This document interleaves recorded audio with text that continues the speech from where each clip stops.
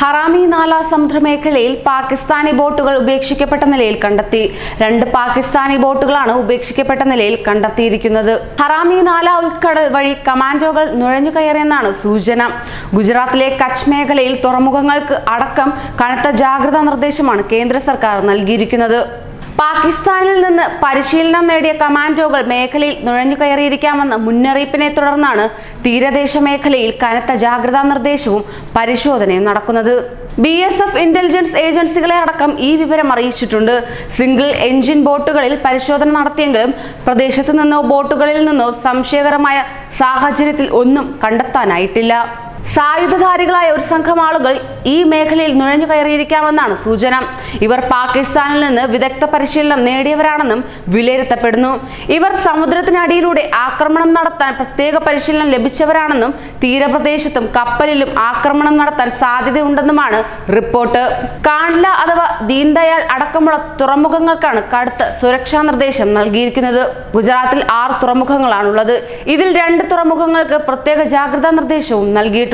തീരപ്രദേശത്തും തീരത്തിനടുത്തും നങ്കൂരമിട്ടിരിക്കുന്ന എല്ലാ കപ്പലുകൾക്കും ജാഗ്രതാ നിർദ്ദേശം നൽകിയിട്ടുണ്ട്. ഷിപ്പിംഗ് ഏജന്റുമാർക്കും ജാഗ്രതാ നിർദ്ദേശം നൽകിയിട്ടുണ്ട്. ബർത്ത് ബുക്കിംഗുകൾ നിരീക്ഷിക്കും.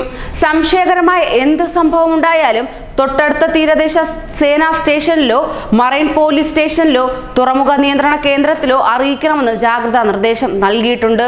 പ്രദേശത്തുള്ള സ്വകാര്യ തുറമുഖങ്ങൾക്കും എണ്ണക്കമ്പനി ഉൾപ്പെടെയുള്ളവയ്ക്കും സുരക്ഷാ നിർദ്ദേശം നൽകിയിട്ടുണ്ട്. നാവിക വ്യോമസേനകൾ പ്രദേശത്ത് കനത്ത നിരീക്ഷണം തുടരുന്നുണ്ട്. ഫ്രണ്ട് സംവിധാനം ഇതുവരെ ഉപയോഗിക്കാത്ത വലിയ മീൻവള്ളങ്ങൾ പരിശോധിക്കുന്നുമുണ്ട്. ഹറാമി നാല ഉൾക്കടൽ മേഖലയിൽ ഇതിനു മുമ്പും സമാന രീതിയിലെ ഭീഷണി ഉണ്ടായിട്ടുണ്ട്.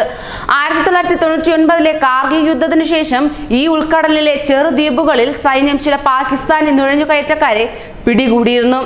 അന്ന് വ്യോമസേനയുടെ പ്രത്യേക ഹെലികോപ്റ്ററുകളടക്കം അധികം നിയോഗിച്ചാണ് മേഖലയിൽ നിരീക്ഷണം ശക്തമാക്കിയത് തന്നെ. ഇതിനു മുമ്പ് ഇന്ത്യ പാക് അതിർത്തിക്ക് സമീപം കച്ച് മേഖലയിൽ രണ്ട് പാക് മത്സ്യബന്ധന ബോട്ടുകളും സുരക്ഷാ ഉദ്യോഗസ്ഥർ പിടിച്ചെടുത്തിരുന്നു. മേയിൽ പാകിസ്ഥാന്റെ ഒരു മത്സ്യബന്ധന ബോട്ട് ബി എസ് എഫ് പിടിച്ചെടുത്തെങ്കിലും ഉടമസ്ഥർ രക്ഷപ്പെട്ടു. പാക് ഭീകര സംഘടനയായ ജെയ്ഷെ മുഹമ്മദ് സമുദ്രത്തിന് അടിയിലൂടെ യുദ്ധം ചെയ്യാൻ സംഘത്തിലുള്ളവർക്ക് പ്രത്യേക പരിശീലനം നൽകുന്നുണ്ട്. എന്നാൽ അവരുടെ നീക്കങ്ങൾ പരീക്ഷിച്ചു വരികയാണെന്നും ആക്രമണത്തെ ചെറുക്കാൻ സേന സജ്ജമാണെന്നും വ്യോമസേന ചീഫ് അഡ്മിറൽ കരംബീർ സിംഗ് പറഞ്ഞു. ഇന്ത്യയുമായി സെപ്റ്റംബറിലോ ഒക്ടോബറിലോ യുദ്ധമുണ്ടാകുമെന്ന് പാക് മന്ത്രി കഴിഞ്ഞ ദിവസം പ്രഖ്യാപിച്ചതിന് പിന്നാലെ ഇന്ന് കരയിൽ നിന്ന് കരയിലേക്ക് തൊടുക്കാവുന്ന ഗസ്നവി ബാലിസ്റ്റിക് മിസൈൽ പരീക്ഷണം നടത്തിയതോടെ ഗുജറാത്ത് തീരത്ത് അതീവ ജാഗ്രതയാണ് നിർദ്ദേശിച്ചിരിക്കുന്നത്. ഇരുന്നൂറ്റി തൊണ്ണൂറ് കിലോമീറ്റർ വരെ ദൂരത്തേക്ക് പലതരം പോർമുനകൾ വഹിക്കാൻ ശേഷിയുള്ളതാണ് മിസൈൽ. ആണവ പോർമുന വഹിക്കാനും ശേഷിയുള്ളതായാണ് റിപ്പോർട്ട്.